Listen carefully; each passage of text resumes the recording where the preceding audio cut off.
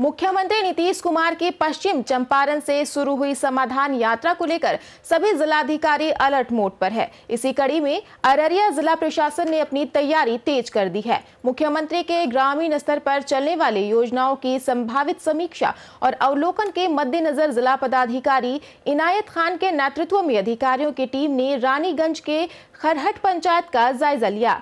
इस मौके पर डीएम इनायत खान के अलावा डीआरडीए निदेशक अनिल कुमार झा, सदर SDO Shailesh Chandra Diwakar DCL R Devendra Pratap Shahi, Raniganj BDO सहित रानीगंज के सीओ और पदाधिकारीगण और स्थानीय गणमान्य लोग मौजूद रहे।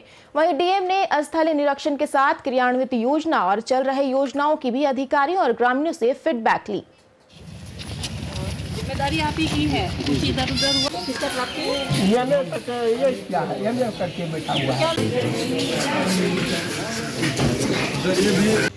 आज हम लोगों ने फ़ील्ड विज़िट के अंतर्गत खरहट पंचायत का निरीक्षण किया। यहाँ पे विकास की कई योजनाएँ चल रही हैं। उसी का हम लोग धरातल पे क्या स्थिति है वो देखने आए थे। इसी क्रम में यहाँ के जनप्रतिनिधि और जो जनमानस है उनसे भी वार्ता की और उनका जो फीडबैक है उन सजेशंस वो भी लिए।